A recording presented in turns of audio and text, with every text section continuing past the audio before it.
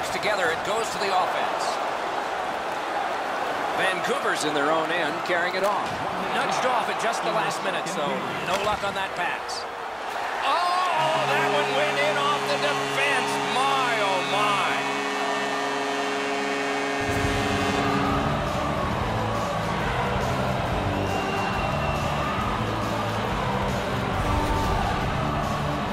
Now you do your best to see if you can get in front of it, but that is just too quick a shot for the goaltender.